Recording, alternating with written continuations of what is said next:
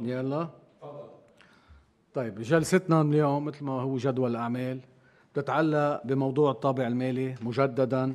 كنا طلبنا من وزارة المالية تعطينا وتزودنا بأرقام محددة حول كلفة آلة الوسم إذا بدنا نعتمدها بدل الطابع الورقي.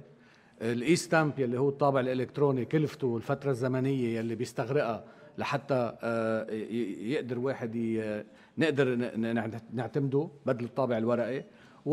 وفي حال آه، في آه، صعوبة بآلة الوسم وفي وقت ممكن يستغرق أكثر من سنة لتنظيم الطابع الإلكتروني ما هي الوسيلة الانتقالية اللي ممكن نعتمدها لحتى نعمل شو؟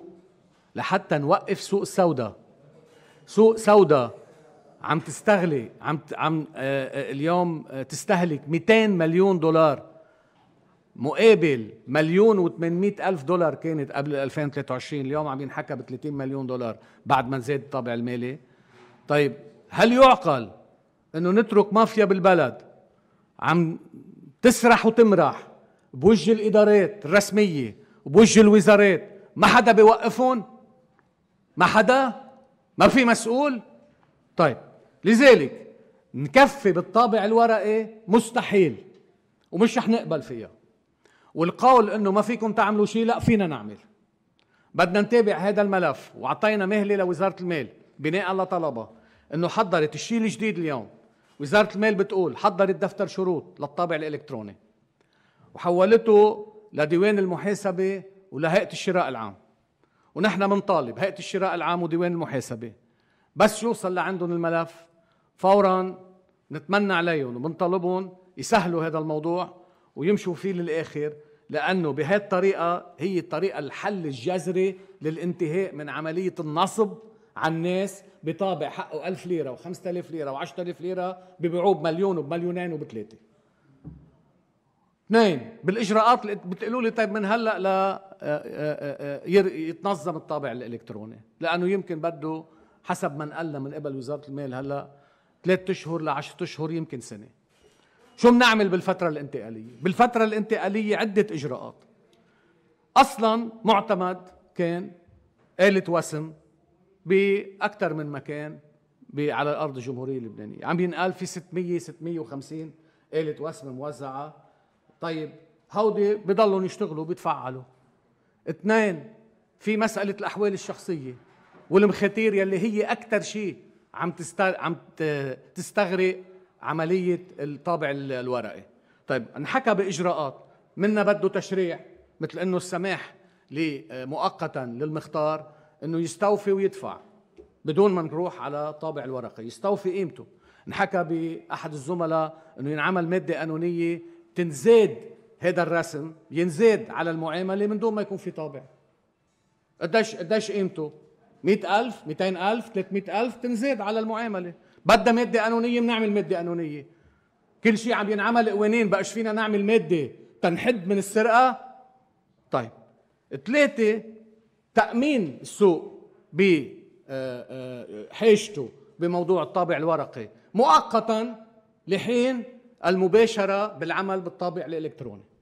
وهذا الأمر مسؤولية وزارة المالية مش مسؤولية حدا تاني. ووزاره المالية عليها تعمل المناقصة.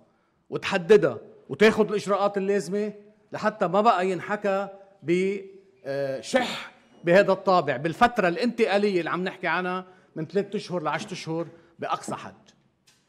أمام كل هذه الإجراءات الانتقالية يبقى الأهم واللي رح نتابعه يومك يومك واللي بنطلب من كل النواب اللي بيحكوا بمكافحة الفساد وكل الكتل النيابية اللي حاملة شعارات وكل يوم عندها مواقف وكل يوم نوابها وناسا وناشطينا ناشطين على أكثر من صعيد.